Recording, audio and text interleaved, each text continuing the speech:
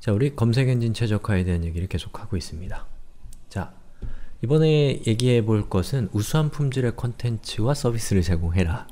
뭐 너무나 도덕교과서 같은 다양한, 당연한 얘기지만 사실은 가장 중요한 얘기죠. 예, 하지만 뭐 굳이 여기 이거에 대해서 제가 여러분들에게 말씀드리진 않아도 될 것 같아요. 여러분들이 직접 보시고 하면 좋겠는데 여기 보시면 요거는 좀 중요할 수 있습니다. 검색 엔진을 위한 것이 아닌 사용자를 위한 컨텐츠를 작성하라고 되어 있습니다.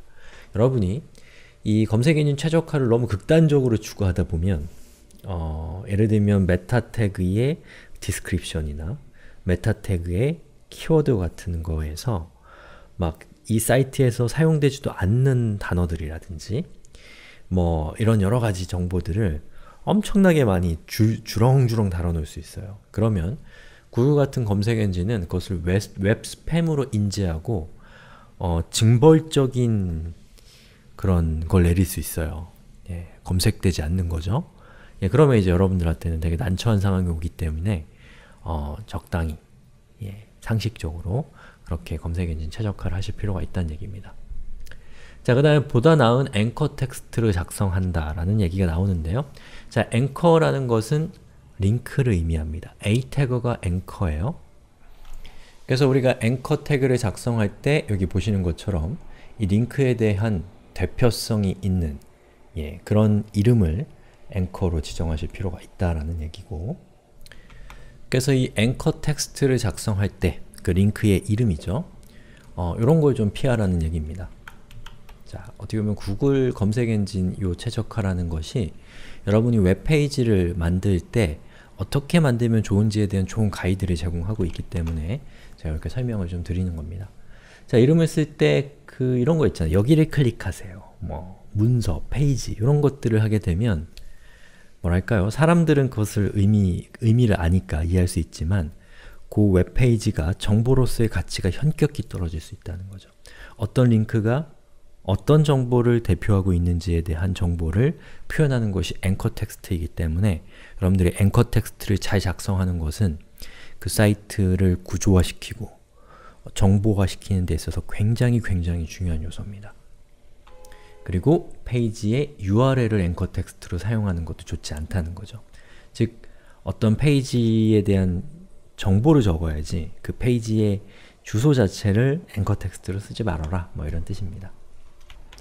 그리고 또 하나는 이제 링크를 눈에 띄기 쉽게 표현하기라고 되어 있는데요. 뭐 아시다시피 링크는 기본적으로 이렇게 밑에 밑줄이 쳐져 있고 그리고 파란색의 글씨로 표현이 됩니다. 어, 그러면 저걸 딱 보면 사람들은 반사적으로 저것이 링크라고 생각하게 돼요. 자 그렇게 되면 이제 사용자들 입장에서는 이게 링크라는 것을 인지할 수 있기 때문에 저걸 클릭할 수 있다는 걸 알 수 있죠. 그런데 이제 우리가 아직 배우진 않았지만 CSS라는 기술을 이용하면 저런 밑에 있는 밑줄, 색깔 이런 걸 다 바꿀 수 있습니다. 그러면 그렇게 하면 더 예뻐 보일 수는 있지만 저것이 링크라는 것을 사용자가 인지하기 어려울 수 있기 때문에 그것은 좋지 않다라는 얘기예요. 그럼 이제 제가 CSS라는 것을 이용해서 여기 있는 디자인을 좀 바꿔볼게요. 우리 CSS 처음 보는 건데 자 이렇게 스타일이라는 태그를 입력하고 여기에다가 이제 CSS를 넣는 겁니다. 여러분 CSS 이해 못하셔도 됩니다. 우리 아직 CSS 안 배웠죠? 자, 지금 저기 제가 밑줄 없애려고 하는 거는 여기 있는 얘들이죠. 얘들의 특징은 바로 a 태그라는 특징이 있습니다. 그쵸?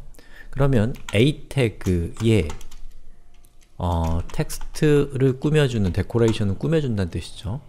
text decoration을 none으로 하면 reload 했을 때 보시는 것처럼 이것들이 링크임에도 불구하고 밑줄을 없앨 수가 있습니다. 바로 그렇게 이때 이제 사용한 것이 CSS인데요.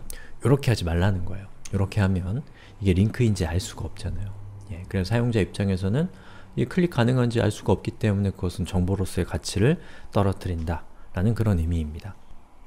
자, 제가 CSS를 일부러 조금 살짝 노출을 했는데 여러분 CSS 우리 아직 정식으로 안 배웠기 때문에 이해 안 되는 거 자연스럽습니다.